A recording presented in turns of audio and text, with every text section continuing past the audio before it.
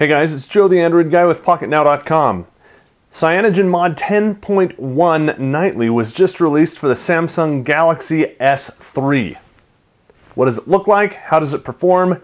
Is it stable enough for you to run as your daily driver? Let's go find out.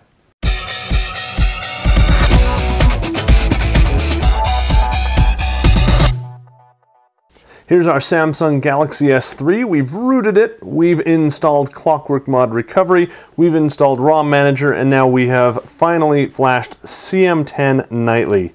We've got our nice little CyanogenMod statistics up at the top that we can opt out of if we want. We also have our nice little Jelly Bean quick settings here. We can go into the, uh, the deeper settings. Now I've already gone into About Phone and turned on developer mode so we could turn on some extra fun stuff, but you can see that this is the CM 10.1 from December 17th nightly. This is the first 10.1 nightly that, uh, that they released for this phone, at least that I know of, and that's been stable enough to actually uh, run and show you a video. They've had previous versions out that were just CM10, which were not the 4.2.1 as you can see here. Just so you know, this is the GTI 9300 version of the Galaxy S3. There are nightlies for a few, if not most of the other ones out there already. So what can we do with this? Well, other than what we were just showing you here, you've of course got all of the trebuchet features, nice and quick, very responsive. Come back into settings, you've got your CyanogenMod settings that you can do in here, including theming. I don't have any themes installed, but we could very quickly and easily install a theme on it. If we go back, we can change our lock screen up.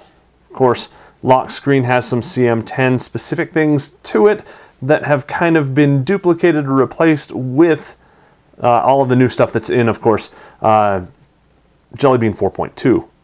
Let's look at launcher we can come into our home screen, set however many number of home screens that we want. All of this fun stuff. Transition effect, I always like these. Let's go ahead and do, uh, let's do something fun, shall we? Let's do a spin. And when we go back home, it's going to take just a minute because it has to relaunch the launcher. But now you can see that it kind of rotates things in and out. Neat little effect like that. Very smooth, very fluid. Something that you don't see every day. Back into settings again and let's see what else we can do with CyanogenMod. Got some advanced settings in here that we can get into. Enable HSDPA, UPA, or HSDPA only, UMTS only. So some interesting, neat things we can do there. Haptic feedback where we can modify the vibrator intensity. We'll leave it at 50%, which is the default.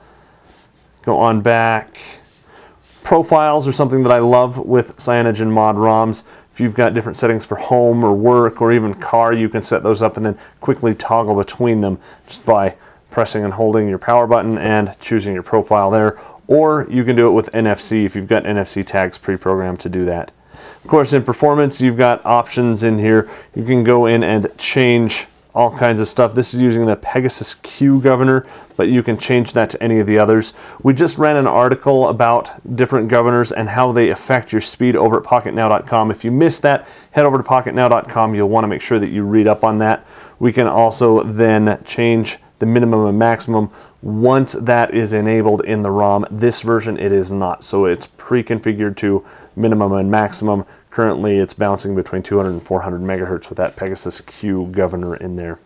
So overall, I've only had about 20, 30 minutes to use this. I haven't noticed any hangups, anything that I would not uh, expect out of a, a, nightly ROM. It's very stable, it's very fast as you can see in there. It does everything that I need it to and as far as I can tell there are no features that have not yet been implemented or aren't working. I'm connected up to Wi-Fi. I don't have a SIM in right now which is why I'm not getting that but uh, as far as all of the reports go, looks like everything works just the way you would expect it to. So what do you think? Do you like what you're seeing here with CM 10.1 on the SGS3? If so, give the video a big thumbs up. If you have any questions or comments, please head over to the article at pocketnow.com. We'd like to keep the conversation going over there if at all possible. If there's a feature that you like about CyanogenMod that we didn't show off here, make sure you also note that in the comments over there. Showing off CM 10.1 on some of our favorite devices. For Pocket Now, I'm Joe Levi. Thanks for watching.